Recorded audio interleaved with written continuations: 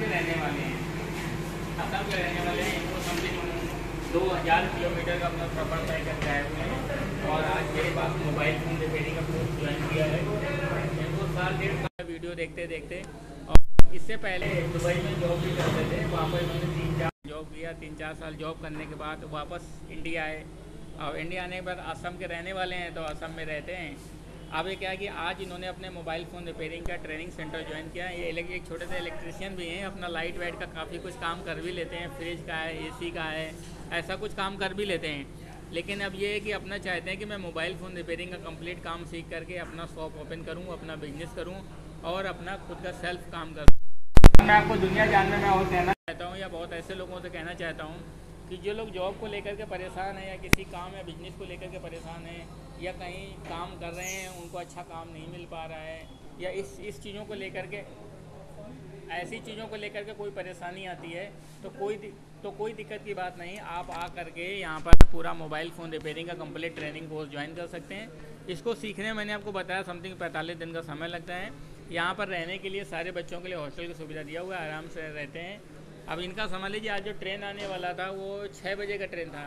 अब छः बजे आने के बाद लेकिन दो तीन घंटे ट्रेन लेट हो गया और पूरा समझ लीजिए इन्होंने चौबीस घंटे का सफ़र तय किया। आपका जो गुवाहाटी के पास में पड़ता है गुवाहाटी से आगे भी पड़ता है? और दूर है सर बदरपुर। बदरपुर। कितना दूर पड़ता है गुवाहाटी से वो? नौ घंटा लग जाता है ट्रेन पे। से नौ घंटे आगे पड़ता है। मेरा नाम है नूरुल इस्लाम। टेक में आया आज। मैं डेढ़ साल साल तक हो गया। मैं वीडियो देखते देखते सर का मतलब किसी ने मतलब सलमान खान का फ़ैन है, अक्षय कुमार का फ़ैन है, मैं सार का फ़ैन है। मेरा, अभी इतना खुशी महसूस हो रहा है कि मैं सार को आमने सामने देखा और सर ने उम्मीद दिया कि आप आ जाओ उधर काम सीखो मैं एक दुकान पे गया था तो एक दिन मैं बैठा था उनका पास तो इस बंदे ने मेरे को स्क्रू वगैरह खुलवाया तो इनको इतना काम नहीं आता। तो एक कस्टमर आया चार्जिंग जैक लगाने के लिए तो वो रिटर्न दे दिया बंदे को। ये जैक अगर इस पर काम सीख के जाता तो दो हज़ार रुपया अगर कस्टमर को बोलता तो वो दे देता। क्योंकि वो कस्टमर को उन्होंने बताया कि वो नहीं होगा। रिपेयरिंग नहीं होगा, आपका मोबाइल देते सिर्फ़ एक जैक की वजह से वो कस्टमर को कह रहा है कि मोबाइल देते क्योंकि उनको काम इतना पता नहीं था। फिर वो कस्टमर बाद में इनको पूछ रहा था कि आपका पास कोई पुराने मोबाइल है, चार पाँच हज़ार वाली? तो इन्होंने बताया नहीं है। अगर ये कस्टमर को उसने जेक लगा के, यहाँ पे अगर काम सीख के जाता, जेग लगा के दे देता तो मान लीजिए आप पंद्रह सौ रुपया उनको कहने से वो नाराज़ नहीं होता मतलब ऐसे खुशी से दे देता। तो ये मेरा कहने का मतलब है, अगर किसी का काम करने का मतलब मोबाइल रिपेयरिंग सीखना है तो भाई यूट्यूब ई टेक में आओ। मैं काफ़ी वीडियो देखा है, लेकिन ये सार का जैसा, रघुवेंद्र सर का जैसा कोई मतलब सिखाने वाला है ही नहीं। मैं ये मानता हूँ, अगर कोई इंजीनियर है मोबाइल का तो रघुवेंद्र सार है। थैंक यू शुक्रिया। अगर मैं मैं आसाम का बिलोंग करता हूँ, और मैं भी काम सीख के जाऊँगा, सर भी आश्वासन दिया मुझे कि आप सीख के जाओगे मेरे पास। और मैं काफ़ी सारे आदमी को ये बताऊँगा। ये बताना भी चाहता हूँ, अगर आपको काम सीखना है, मोबाइल का रिपेयरिंग सीखना है तो ई टेक में आओ। रघुवेंद्र सर का साथ काम सीखो थैंक यू शुक्रिया धन्यवाद तो जी, मैं आपसे एक बात और कहना चाहता हूँ वीडियो के माध्यम सारे बच्चों को कहता हूँ। कि आप मेरे पास आए हैं तो सीख करके ही जाता है। और यहाँ पर सीखने का, रहने वहने का सारा सुविधा रहता है, उन बच्चों को कोई अलग से पैसा, कोई चार्जेस नहीं देना होता। और अपनी तरफ़ से इस बात की पूरी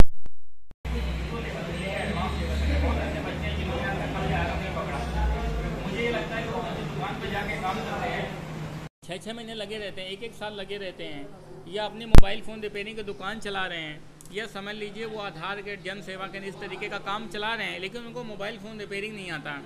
या वो किसी के अंडरटेकिंग में सीख रहे हैं लेकिन वो भी नहीं पूरा सिखा रहे हैं। क्योंकि आजकल लोग दुनिया जान में इसलिए नहीं सिखाना चाहते वो चाहते हैं कि अगर मैं इसको सिखा दूँगा तो ये कामयाब हो जाएगा ये काम करना शुरू कर देगा।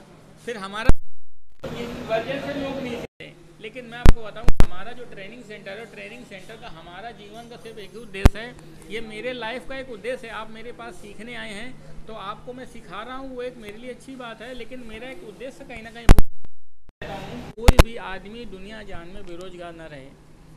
मैं चाहता हूँ कि मैं दुनिया जान में अगर मैं गरीबी को तो नहीं हटा सकता, लेकिन गरीबी को हटाने के लिए बेरोजगारी का जो कारण है, वो मैं हटाना चाहता हूँ कि लोगों के हाथ में स्किल दे करके अगर आपके हाथ में हुनर आएगा और आपके हाथ में स्किल है तो मैं गारंटी के साथ मैं कहता हूँ, आप कभी भी किसी ज़िंदगी में कभी पैसों के मोहताज नहीं रहोगे, क्योंकि आप अपना काम करके दोगे और काम करने के एवरेज में आप पैसे मांगोगे। भैया, ये मोबाइल फ़ोन है, इसमें चार्जिंग पिन ख़राब था तो मैंने इसको ठीक कर दिया है। इसका दो सौ रुपये लगेगा, तीन सौ रुपये लगेगा।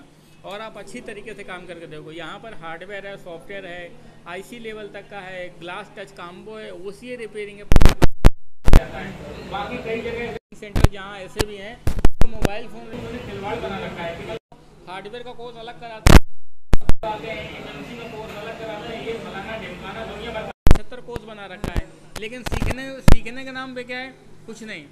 और बाद में क्या बोलेंगे भैया हार्डवेयर करोगे तो तुमको दस हज़ार लगेगा सॉफ्टवेयर करोगे तो तुमको बीस हज़ार रुपये लगेगा और अगर एम एम सी का काम सीखोगे तो पच्चीस हज़ार तुमको और लगेगा। तो उसका बीस हज़ार देना पड़ेगा। ऐसे धीरे धीरे करके कोर्स को साठ सत्तर हज़ार देते हैं। लेकिन हमने कोई ऐसा सिस्टम नहीं बना रखा। हमारे पास सिर्फ़ एक ही कोर्स है, मोबाइल फ़ोन रिपेयरिंग का। आपको मैं बिल्कुल बेसिक लेवल से लेकर पूरा एंड्रॉयड है, पूरा आईफोन है, पूरा टैबलेट्स हैं। सभी तरह के मोबाइल फ़ोन को हार्डवेयर सॉफ्टवेयर दोनों तरीके से पूरा कंप्लीट रिपेयरिंग करने का तरीका हम आपको सिखा करके भेजेंगे और आप सीख करके जाएँगे। अच्छे से बिज़नेस करेंगे। कभी भी सीखने के बाद भी, कभी भी आपको ज़िंदगी में कोई प्रॉब्लम आती है, कोई दिक्कत आती है तो मेरे पास आकर के उस चीज़ को दोबारा आकर के ज्वाइन कर सकते हैं, सीख सकते हैं। कभी भविष्य में आपको पैसा नहीं देना। हम चाहते हैं कि हमारा स्टूडेंट सीखने के बाद कभी फेल ना हो और वो अच्छी तरीके से सफलतापूर्वक काम करे और सक्सेस हो। थैंक यू ठीक है, अब आप कमरे पे जाइए, आराम करिए, दो, चार, पाँच छः घंटे रेस्ट करिए। कल से सुबह से बैच स्टार्ट करेंगे। आपको आठ घंटे क्लास करना है। सबसे पहले आठ बजे से लेकर बारह बजे तक चार घंटे क्लास करना है, फिर बारह से दो लंच करना है, फिर दो बजे से लेकर के छः बजे तक क्लास करना है। तो इस तरीके से आपको पूरा दिन में आठ घंटे समय देना है और आप कोर्स को पैंतीस दिन के अंदर ही फिनिश कर देंगे। लेकिन दस दिन एक्स्ट्रा प्रैक्टिस करनी है, और एक्स्ट्रा प्रैक्टिस करनी है, ताकि आपको मज़बूत होकर जाना है। दो चार दस मोबाइल फ़ोन को यहीं ठीक करके जाना है।